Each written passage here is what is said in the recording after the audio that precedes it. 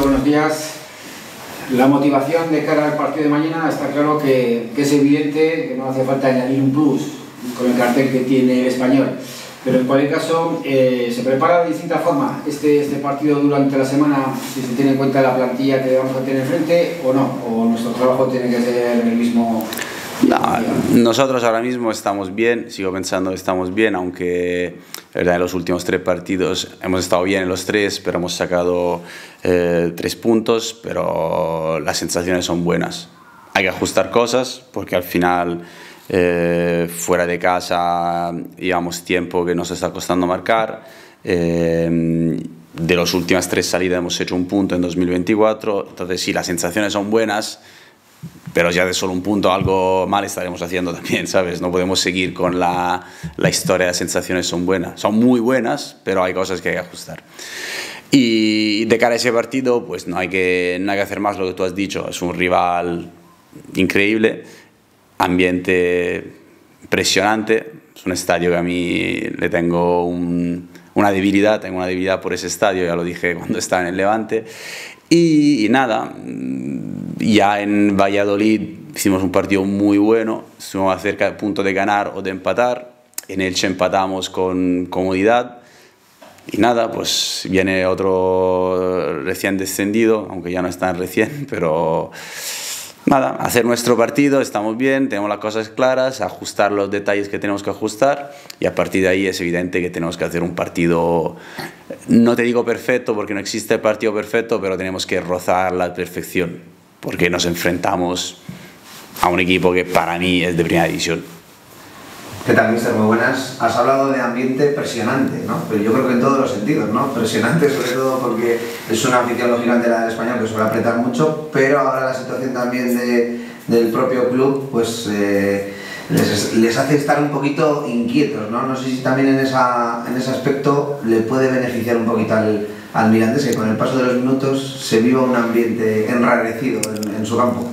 En eso tenemos que ser buenos nosotros en hacer buen partido y estar en el partido hasta el último minuto. Está claro que quizás no están en su mejor momento, puede tener un poco más de presión, pero también es verdad que en casa han perdido solo un partido, ¿sabes? Que, que no es que, que sea tan fácil. Pero sí, vamos a intentar, al final nosotros esto no es algo que dominamos nosotros, ¿no? Nosotros salimos al campo a, hacer nuestra, a dar nuestra mejor versión. Si luego, con el pasar de los minutos, ellos le entra más presión por, por la situación que están viviendo, pues intentaremos aprovecharlo. Pero um, nosotros tenemos que ir a lo nuestro, y lo nuestro es intentar hacer lo mejor posible un partido, pues lo he dicho, rozando la, eh, la perfección. A partir de ahí, todo lo bueno que venga, pues intentaremos explotarlo. Mister, otra noticia que había ayer es la salida de, de Durlov, había salvado muchas veces al delantero por su actitud, finalmente deja el equipo, no sé si, bueno, evidentemente con el entendemos que, que Mister, ¿no? Mira, muy fácil, eh, se da la opción de Iván de, salir, Iván, como dije, desde el día uno ha tenido una actitud increíble, todas las veces que ha salido al campo ha sido eh, con actitud que no se le puede decir absolutamente nada. Me acuerdo aquí el día de, de Cartagena, que salió creo 30 segundos, un minuto, se sacó dos faltas, se mató y acabó el partido. Nos pide salir en esta vida, más allá del, del, deporte, del mero deporte, existe, existen las personas y a las personas buenas hay que tratarlas bien. Y yo creo, yo di el ok, me sabe mal su salida, se me pidió dar el ok y el ok porque, porque se lo merece. Al final aquí no, no, le ha ido como entre él y nosotros no hemos sido capaces de, de explotar, de, dar, de hacerle sacar su mejor versión. Eh, he dado el ok porque, porque no, no se puede hacerlo mal con una tan buena gente, tan buen futbolista por, por egoísmo. El equipo ha transmitido muy buenas sensaciones también a domicilio estos últimos meses, eh, ha merecido mucho más, por ejemplo en Cartagena, pero lo que decías al principio, ¿no? nos hemos quedado sin, sin marcar. Eh, comentabas que hay que ajustar algunas cosas. Vamos a ver mañana muchos cambios en este sentido.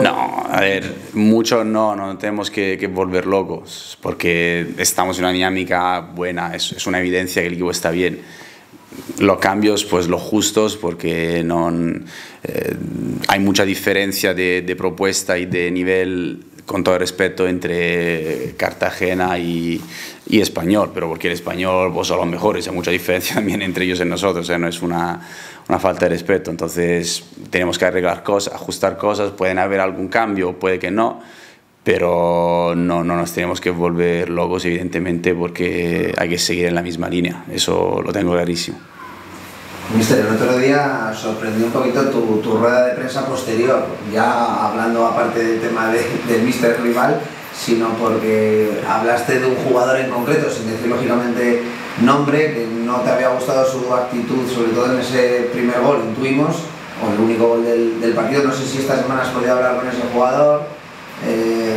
Para un poquito eh, esa, esa situación. Mm, a ver, era más de uno, o sea, estoy, estoy, dando muchas pistas. ¿eh? Era más de uno y, y, no era solo por el gol, eran varias situaciones, no era solo el gol. Lo hablé en el descanso directamente, los que odian que saberlo. Yo si hablo algo en rueda de prensa, antes lo he hablado con los jugadores. No voy a atacar a un jugador en rueda de prensa sin saber, sin saber el, yo, el antes. Eh, ya está, no, hay, no tiene más misterio. Hay jugadores que no es, esa que lluvia no hay mm, los jugadores son así hay momentos de altos bajos hay momentos que para que saquen su mejor versión le tienes que apretar y, sacarlos y cabrearlos. Y entonces pues nada yo creo que era un momento bueno para eso y, y ya está. Pero esas son cosas que se quedan en, en el vestuario.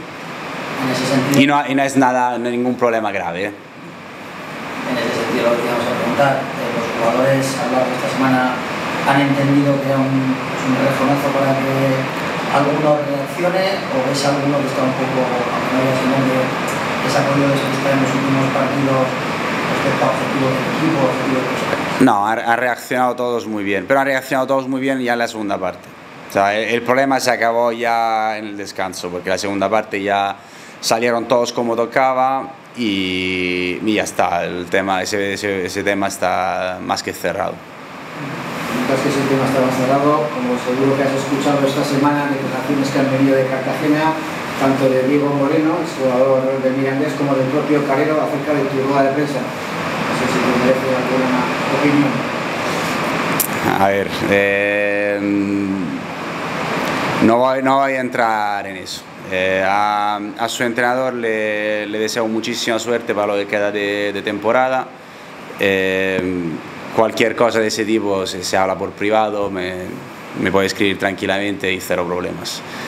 En las declaraciones de antes de ayer se, la ha malinterpretado, se ha equivocado, pero bueno, no, no se lo voy a tener en cuenta, no soy un tío rencoroso, no hay, ningún problema.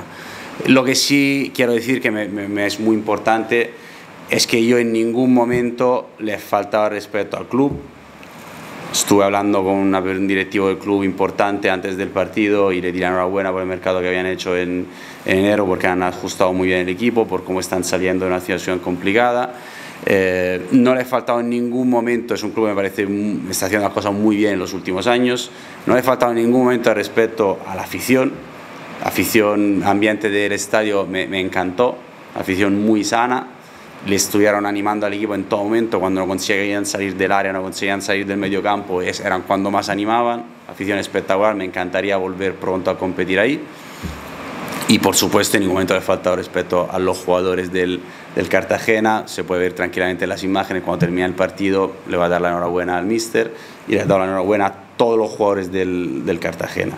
Eh, esto sí que me parece bien porque cuando se dicen cosas que no son correctas hay que, hay que defenderse y ya está.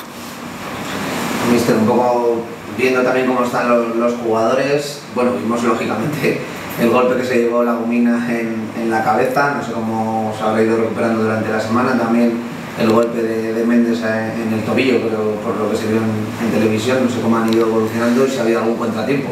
Eh, no, han habido dos más que estaban bastante tocados, pero han tenido algún día de, de descanso y se han ido metiendo poco a poco al, en la semana. Yo creo que, bueno, creo, para mañana no está al 100% porque son golpes, sobre todo el de Méndez, muy duro, pero, pero están todos.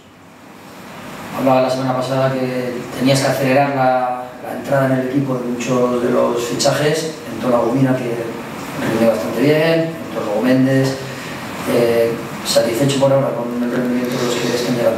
Sí, sí, sí, dentro de que sabemos que, no es fácil, no es fácil entrar en un equipo que está muy rodado, meterte y rendir enseguida, pero se están adaptando bien y con predisposición para adaptarse rápidamente. Nino creo nos sorprendió a todos por la facilidad con la cual ha entrado en, en el equipo, que es verdad que ahí es donde se nota la experiencia, ¿no? No es lo mismo tener 20 años que tener eh, 27, entonces ha entrado muy bien, el jugador lo, lo, lo conozco súper bien y sabía el, el, nivel que podía dar. Ahora hace falta que, que meta la primera para luego seguir en, en raya, digamos.